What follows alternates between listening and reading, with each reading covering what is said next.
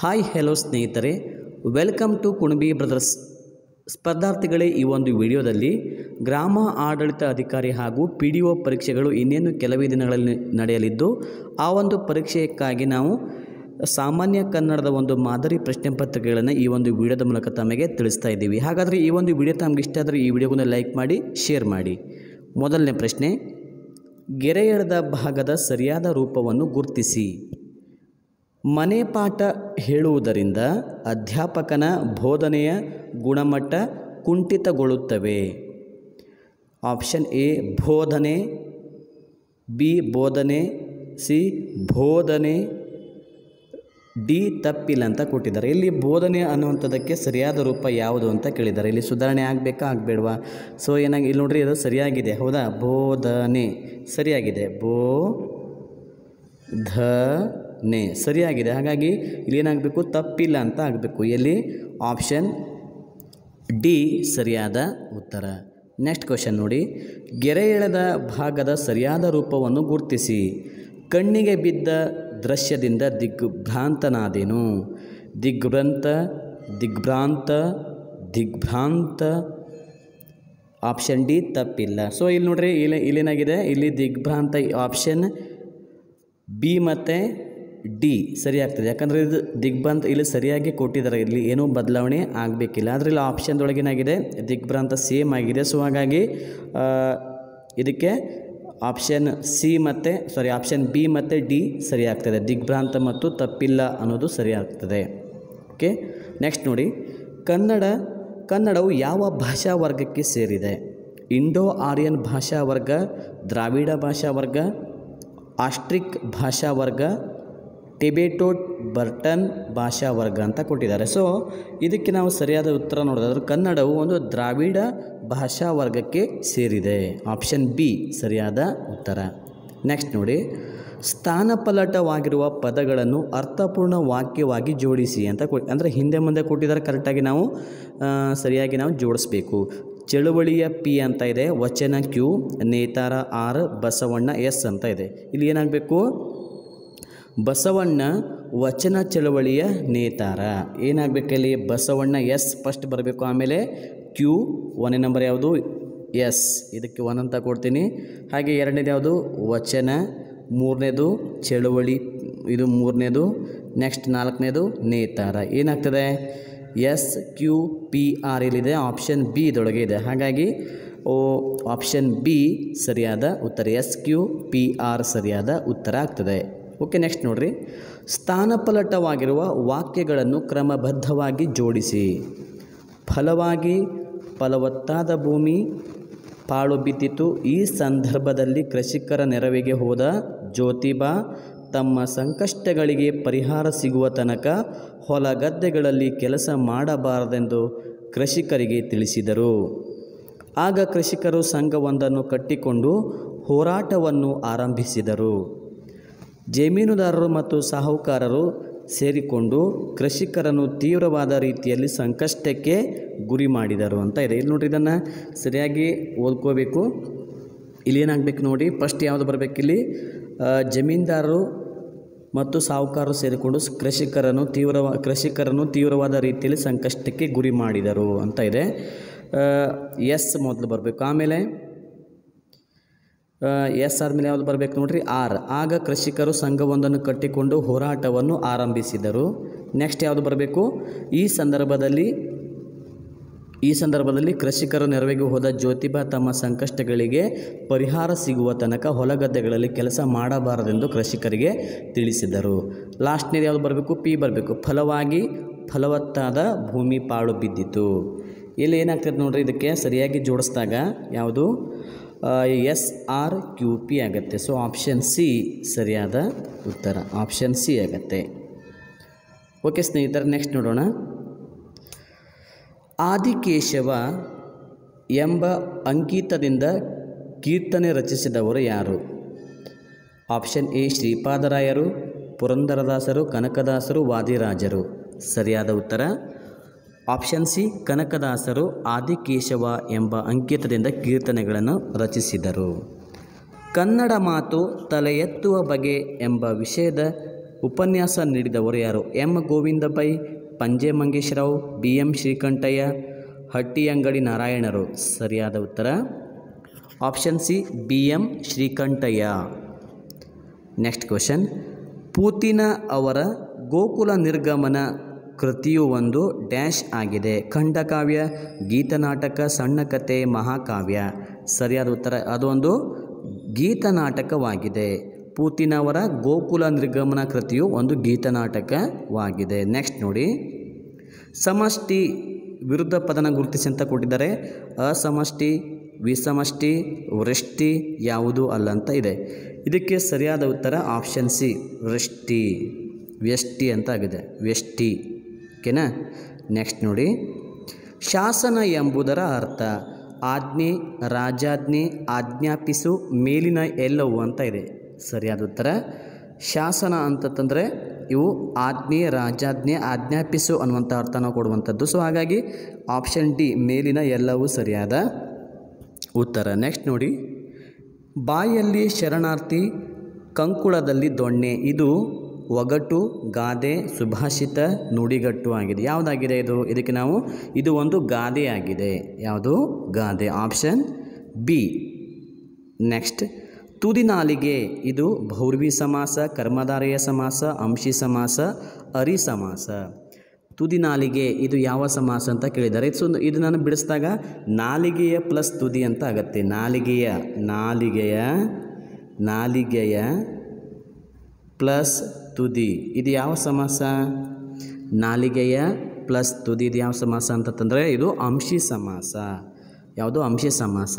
ಹಾಗೆ ಕೆಳದುಟಿ ಒಳಮೈ ಇವೆಲ್ಲ ಯಾವುದಕ್ಕೆ? ಅಂಶಿ ಸಮಾಸಕ್ಕೆ ಉದಾಹರಣೆ ಆಗ್ತವೆ. ನಿಯಮ ಏನಿದೆ? ಪೂರ್ವ ಪದ ಮತ್ತು ಉತ್ತರ ಪದಗಳು ಅಂಶ ಮತ್ತು ಭಾವದಿಂದ ಕೂಡಿದರೆ ಅದು ಅಂಶಿ ಸಮಾಸ ಆಗ್ತದೆ. ಇನ್ನಷ್ಟು ಉದಾಹರಣೆ ನೋಡಬೇಕಾದ್ರೆ ನಿಮಗೆ ಕೆಳದುಟಿ ಒಳಮೈ ಇವೆಲ್ಲ ಯಾವುದು? ಅಂಶಿ ಸಮಾಸಕ್ಕೆ ಉದಾಹರಣೆಗಳು. ನೆಕ್ಸ್ಟ್ ನೋಡಿ. ಮಸ ಮಸ, ಜಸ ತತ ಈ ಗಣಗಳು ಬಂದರೆ ಆಗುವ ವೃತ್ತಯ ಉತ್ಪದಮಾಲ ವೃತ್ತ ಚಂಪಕಮಾಲ ವೃತ್ತ, ಶಾರ್ದುಲ ವಿಕ್ರೀಡಿತ ವೃತ್ತ, ಶ್ರದ್ಧ ಶ್ರದ್ಧರ ವೃತ್ತ ಅಂತ ಇದೆ. ಸೊ ಸರಿಯಾದ ಉತ್ತರ ಶಾರ್ದುಲ ವಿಕ್ರೀಡಿತ ವೃತ್ತ. ಆಪ್ಷನ್ ಸಿ ಸರಿಯಾದ ಉತ್ತರ. ಓಕೆ ನೆಕ್ಸ್ಟ್ ನೆಕ್ಸ್ಟ್ ನೋಡಿ.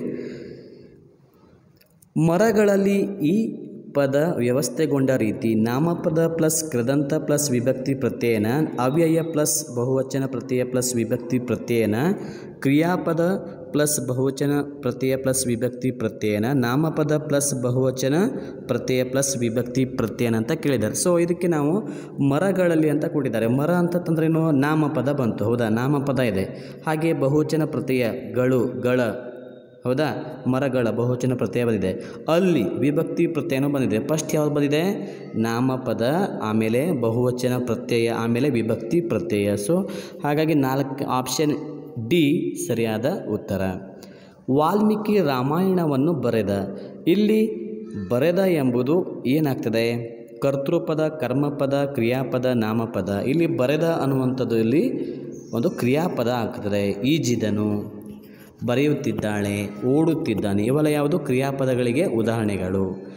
ಹಾಗಾದರೆ ಇದಕ್ಕೆ ಕ್ರಿಯಾಪದ ಅನ್ನುವಂಥದ್ದು ಸರಿಯಾದ ಉತ್ತರ ಆಗ್ತದೆ. ನೆಕ್ಸ್ಟ್ ನೋಡಿ ಸ್ನೇಹಿತರೆ. ಮುಖಚಂದ್ರ ಎಂಬುದು ಇದಕ್ಕೆ ಉದಾಹರಣೆ. ಸ್ನೇಹಿತರೆ, ಇದೇ ಥರ ಹೆಚ್ಚಿನ ರೀತಿಯ ವೀಡಿಯೋಸ್ಗಳಿಗಾಗಿ ನಮ್ಮ ಚಾನಲನ್ನು ಸಬ್ಸ್ಕ್ರೈಬ್ ಮಾಡಿಕೊಂಡು ನಿಮ್ಮ ಸ್ನೇಹಿತರಿಗೂ ಸಹ ಈ ವಿಡಿಯೋಸ್ಗಳನ್ನು ಶೇರ್ ಮಾಡಿ.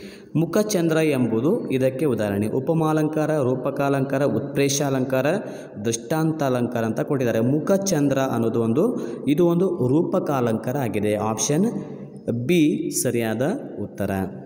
ಅನ್ವರ್ತನಾಮ ಎಂದರೆ, ಗುಣ ಆಕಾರಕ್ಕೆ ಹೊಂದಿಕೊಳ್ಳುವ ಹೆಸರು, ಹೆಸರನ್ನು ಹೇಳುವ ಪದ, ಒಂದೇ ಜಾತಿಯ ಅನೇಕ ವಸ್ತುಗಳಿಂದ ಒಂದನ್ನು ಬೇರೆಯಾಗಿ ತೋರಿಸಲು ಕೊಟ್ಟ ಹೆಸರನ್ನು ಸೂಚಿಸುವ ಪದ ಅಥವಾ ತಿಳಿಸುವ ಪದ, ರೂಢಿಯಲ್ಲಿ ಕರೆಯುವ ಅನಿರ್ದಿಷ್ಟ ಪದ, ಭಾವನೆಯಲ್ಲಿ ಅಂತರ್ಗತವಾಗಿರುವ ಪದ ಅಂತ ಕೊಟ್ಟಿದ್ದಾರೆ. ಸೊ ಅನ್ವರ್ತನಾಮ ಅಂತಂದ್ರೆ ನಿಮ್ಗೆ ಗೊತ್ತಿದೆ, ರೂಢನಾಮ, ಅಂಕಿತನಾಮ, ಅನ್ವರ್ತನಾಮ. ಅನ್ವರ್ತನಾಮ ಅಂದರೆ ಗುಣ ಆಕಾರಕ್ಕೆ ಹೊಂದಿಕೊಳ್ಳುವಂಥ ಒಂದು ಹೆಸರು ಅಥವಾ ಪದ ಅಂತಂತ ಹೇಳ್ಬೋದು. ಹಾಗಾಗಿ ಆಪ್ಷನ್ ಎ ಸರಿಯಾದ ಉತ್ತರ. ಉದಾಹರಣೆಗೆ, ಕುರುಡ, ಕುಂಟ, ವೈದ್ಯ, ಸೈನಿಕ, ಶಿಕ್ಷಕ, ಇವೆಲ್ಲ ಯಾವುದು? ಅನ್ವರ್ತಕ ನಾಮಕ್ಕೆ ಉದಾಹರಣೆಗಳು. ವ್ಯಾಪಾರಿ. ಹೀಗೆ ಸಾಕಷ್ಟು ನಾವು ಅನ್ವರ್ತಕ ನಾಮಕ್ಕೆ ಉದಾಹರಣೆಗಳನ್ನು ನಾವು ನೋಡ್ಬೋದು. ಓಕೆ, ನೆಕ್ಸ್ಟ್ ನೋಡ್ರಿ ಸ್ನೇಹಿತರೆ. ಬಂಡಣ ಪದದ ಸಮಾನಾರ್ಥಕಗಳು ಯುದ್ಧ ಮಳಿಗೆ, ಯುದ್ಧ ಭೂಮಿ ಮನೆ, ಗುಡಾಣ, ಯುದ್ಧ, ಕಾಳಗ. ಬಂಡಣ ಅಂತಂತಂದರೆ ಯುದ್ಧ, ಕಾಳಗ ಅನ್ನುವಂಥ ಒಂದು ಅರ್ಥವನ್ನು ಸಹ ಕೊಡ್ತದೆ. ಸೊ ಆಪ್ಷನ್ ಡಿ ಸರಿಯಾದ ಉತ್ತರ. ಓಕೆ ನೆಕ್ಸ್ಟ್ ನೆನಪಿನ ಹಕ್ಕಿಯ ಹಾರಲು ಬಿಟ್ಟು, ಇದು ಯಾರ ಕೃತಿ? ಗಿರೀಶ್ ಕಾರ್ನಾಡ್, ಪುರುಷೋತ್ತಮ ಬಿಳಿಮಲೆ ಮುಡ್ನಾಕೊಡು ಚಿನ್ನಸ್ವಾಮಿ ಪ್ರ ಪ್ರತಿಭಾ ನಂದಕುಮಾರ್. ನೆನಪಿನ ಹಕ್ಕಿಯ ಹಾರಲು ಬಿಟ್ಟು. ನೋಡಿ ಸ್ನೇಹಿತರೆ, ಕೃತಿಗಳು ಭಾಳ ಇಂಪಾರ್ಟೆಂಟು ಹಾಗಾದರೆ ಈ ಕೃತಿನ ಬರೆದವರು ಯಾರು? ಮೂಡ್ನಾಕೂಡು ಚಿನ್ನಸ್ವಾಮಿ. ಆಪ್ಷನ್ ಸಿ ಸರಿಯಾದ ಉತ್ತರ. ಓಕೆ ನೆಕ್ಸ್ಟ್ ನೆಕ್ಸ್ಟ್ ಪ್ರಶ್ನೆ. ಹೆಣ್ಣಾಗಿ ಯಾರೂ ಹುಟ್ಟುವುದಿಲ್ಲ, ನಂತರ ರೂಪಿತವಾಗ್ತಾಳಷ್ಟೇ ಎಂದು ತನ್ನ ಕೃತಿಯಲ್ಲಿ ಘೋಷಿಸಿದಾಕೆ ಯಾರು?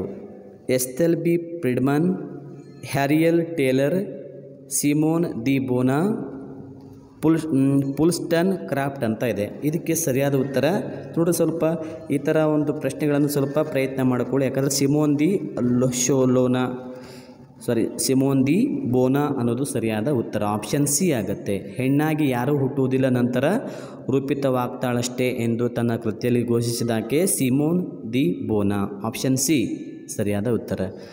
The history of Kannada language ಕೃತಿಯ ಕರ್ತೃ ಯಾರು? ಜುಲ್ box Reverend William Carey, R Narasimhachar, G S Gai. ಸರಿಯಾದ ಉತ್ತರ? ಆರ್ ನರಸಿಂಹಾಚಾರ್ ಇವರು the history of Kannada language ಅನ್ನುವಂಥ ಕೃತಿಯನ್ನು ಬರೆದರು. ಓಕೆ, ನೆಕ್ಸ್ಟ್ ನೋಡಿ. ಮಲ್ಲಿಗೆ ದಂಡೆ, ಜನಪದ ಕೃತಿಕ ಕೃತಿಯ ಸಂಗ್ರಹಕಾರರು ಯಾರು? They J, they Javaregowda, Halasangi ಗೆಳೆಯರು, ಕಾಪ್ಸೆ ರೇವಪ್ಪ, ಸಿಂಪಿ ಲಿಂಗಣ್ಣ. ಮಲ್ಲಿಗೆ ದಂಡೆ ಎಂಬ ಕೃತಿಯನ್ನು ಬರೆದವರು ಕಾಪ್ಸೆ ರೇವಣ್ಣ. ತರಿ ಇದರ ಸಮಾನಾರ್ಥಕಗಳು ಕಡಿ ಕತ್ತರಿಸು ಛೇದಿಸು ಕೀಳು ಕೀಳು ಪೀಡೆ ಕತ್ತರಿಸು ಛೇದಿಸು, ಕತ್ತರಿಸು ಮರ ತರುಣಿ ಕಡಿ ಕಡಿ ಕೀಳು ಮರ ಕತ್ತರಿಸು ಅಂತ ಇದೆ. ಇದಕ್ಕೆ ಸರಿಯಾದ ಉತ್ತರ ಆಪ್ಷನ್ ಎ, ಕಡಿ ಕತ್ತರಿಸು ಛೇದಿಸು ಕೀಳು ಅನ್ನುವಂಥದ್ದು ಆಗ್ತದೆ. ಓಕೆ, ನೆಕ್ಸ್ಟ್ ನೋಡಿ. ಬಿಂಕ, ಬೆಡಗು ಇದರ ಸಮನಾರ್ಥಕಗಳು. ಸೊಗಸು ಅಂದ ಚಂದ ರೀತಿ, ಸೆಳೆತ ನಾವಿನ್ಯ ಚಂದ ಸೆಳೆತ. ಬಿಂಕ, ಬೆಡಗು ಅಂದರೆ ಇಲ್ಲಿ ಚಂದ ಸೆಳೆತ ಅನ್ನುವಂಥ ಅರ್ಥನ ಕೊಡ್ತದೆ. ಸೊ ಆಪ್ಷನ್ ಡಿ ಸರಿಯಾದ ಉತ್ತರ. ಈ ಕೆಳಗಿನ ವಾಕ್ಯದಲ್ಲಿನ ಇಂಗ್ಲಿಷ್ ಪದ ಕನ್ನಡ ರೂಪ ಪೋಷಕರ ಪ್ರೆಸೆನ್ಸ್ನಲ್ಲಿ ತೀರ್ಮಾನಿಸಲಾಯಿತು. ನಿರ್ದೇಶನ, ಅಧಿಕೃತ, ಸಮ್ಮುಖ ಜೊತೆಯಲ್ಲಿ ಅಂತ ಇದೆ. ಇಲ್ಲಿ ನೋಡ್ರಿ, ಇದನ್ನು ಕೆಲ, ಈ ಥರ ಕ್ವಶನ್ಸ್ಗಳನ್ನು ಸಹ ಕೇಳ್ತಾರೆ. ಹಾಗಾಗಿ ಸಮ್ಮುಖ ಅನ್ನೋದು ಸರಿಯಾದ ಪ್ರೆಸೆನ್ಸ್ ಅಂದರೆ ಸಮ್ಮುಖ ಅಂತ ಅರ್ಥ ಕೊಡುತ್ತೆ. ಸೊ ಆಪ್ಷನ್ ಸಿ ಸರಿಯಾದ ಉತ್ತರ. ಕಾಲೇಜಿನಲ್ಲಿ ನಡೆದ ಸೆಮಿನಾರ್ ವಿದ್ಯಾರ್ಥಿಗಳಿಗೆ ಬಹಳ ಉಪಯುಕ್ತವಾಗಿತ್ತು ಉಪ ಉಪಯುಕ್ತವಾಯಿತು ಅಂತ ಇದೆ. ನೋಡ್ರಿ, ಇಲ್ಲಿ ಸೆಮಿನಾರ್ ಅನ್ನುವಂಥ ಪದಕ್ಕೆ ಕನ್ನಡ ರೂಪ ಯಾವುದು ಅಂತ ಕೇಳ್ತಿದ್ದಾರೆ. ತರಬೇತಿ ಶಿಬಿರ, ವಿಶೇಷ ಪರೀಕ್ಷೆ, ವಿಚಾರ ಸಂಕಿರಣ, ವಾರ್ಷಿಕ ಗೋಷ್ಠಿ ಅಂತ ಇದೆ. ಇಲ್ಲಿ ಸೆಮಿನಾರ್ ಅಂತಂತಂದರೆ ವಿಚಾರ ಸಂಕಿರಣ ಅನ್ನುವಂಥ ಒಂದು ಅರ್ಥವನ್ನು ಕೊಡುವಂಥದ್ದು. ಸೊ ಆಪ್ಷನ್ ಸಿ ಸರಿಯಾದ ಉತ್ತರ.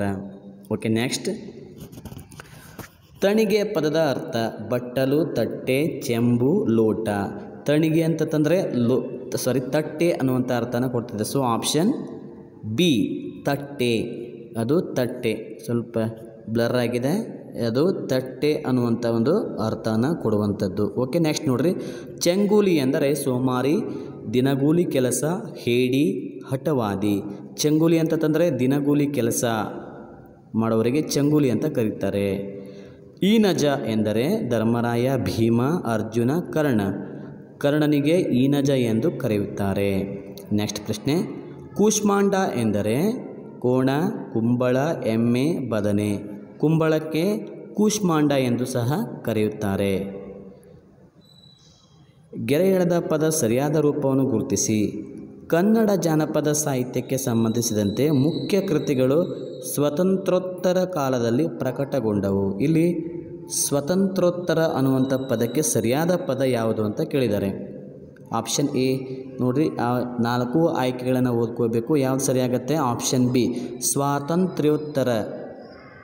ಆಪ್ಷನ್ ಬಿ ಸರಿಯಾದ ಉತ್ತರ ಆಗ್ತದೆ. Okay, next.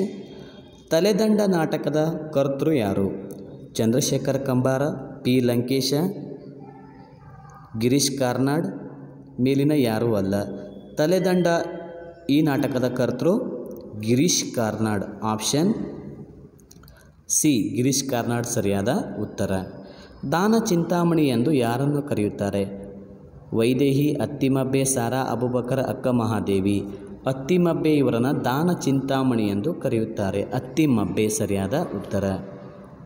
ಒಂಟಿ ಕಾಲಿನ ಕೊಕ್ಕರೆ ಒಂಬೈನೂರು ತತ್ತಿ. ಇದು ಗಾದೆ ಮಾತು ಜನಪದ ಹಾಡಿನ ಸಾಲು ಒಗಟು ಲಾವಣಿ ಪದದ ಸಾಲು ಅಂತ ಇದೆ. ಇದು ಸರಿಯಾದ ಉತ್ತರ ಆಪ್ಷನ್ ಸಿ, ಒಗಟು. ನೆಕ್ಸ್ಟ್ ಪ್ರಶ್ನೆ, ಗುಂಪಿಗೆ ಸೇರದ್ದನ್ನು ಗುರುತಿಸಿ. ಗರುಡ, ಬಾವಲಿ, ಗಿಳಿ ಮಂಗ, ಮಂಗಟ್ಟಿ ಅಂತ ಇದೆ. ಇಲ್ಲಿ ನೋಡ್ರಿ ಸರಿಯಾದ ಉತ್ತರ. ಗಿಳಿ ಅನ್ನುವ ಸಾರಿ ಇಲ್ಲಿ ಬಾವಲಿ ಅನ್ನೋದು ಸರಿಯಾದ ಉತ್ತರ. ಬಾವಲಿ. ಗುಂಪಿಗೆ ಸೇರಿದ ಯಾವುದು ಇಲ್ಲಿ? ಆಪ್ಷನ್ ಬಿ ಬಾವಲಿ. ಓಕೆ ಸ್ನೇಹಿತರೆ, ಇಲ್ಲಿಯವರೆಗೂ ಈ ಒಂದು ವಿಡಿಯೋ ನೋಡಿದ್ದಕ್ಕಾಗಿ ಧನ್ಯವಾದಗಳು. ಹಾಗೆ ಇದೇ ಥರ ಇನ್ನೂ ಹೆಚ್ಚಿನ ರೀತಿಯ ವೀಡಿಯೋಸ್ಗಳಿಗಾಗಿ ನೋಟ್ಸ್ಗಳಿಗಾಗಿ ನಮ್ಮ ಟೆಲಿಗ್ರಾಮ್ ಚಾನಲ್ ಜಾಯ್ನ್ ಆಗಿ, ಹಾಗೆ ನಮ್ಮ ಯೂಟ್ಯೂಬ್ ಚಾನಲನ್ನು ಸಬ್ಸ್ಕ್ರೈಬ್ ಮಾಡಿಕೊಳ್ಳಿ. ಧನ್ಯವಾದಗಳು.